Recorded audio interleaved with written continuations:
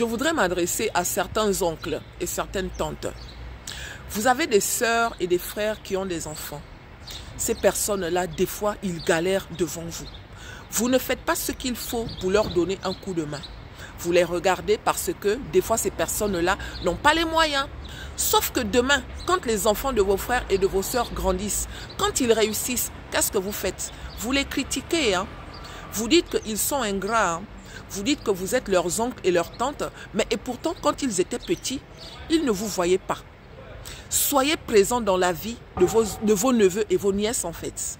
Vous protégez vos enfants hein, parce que vous pensez que les enfants de vos frères et de vos sœurs là, ils ne vont pas réussir. Et pourtant, les enfants que vous méprisez là, les enfants que vous ne regardez pas, les enfants que vous n'aidez pas quand ils sont petits, dans la majorité du temps, quand ils grandissent, ils deviennent heureux. Et des fois même plus que vos enfants que vous avez mis au monde. Donc quand vous avez des frères et des sœurs qui ont des enfants, vous devez être présent aussi dans la vie de vos nièces et de vos neveux. Parce que quand ces enfants-là ne vous donnent pas, hein, vous ne vous rappelez pas de la période où vous n'étiez pas là. La période où leur maman galérait toute seule. La période où leur papa souffrait pour nourrir leurs enfants. Et pourtant, vous aviez les moyens. Hein. Vous avez mis vos enfants devant.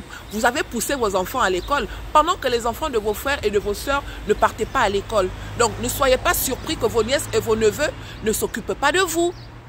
D'accord?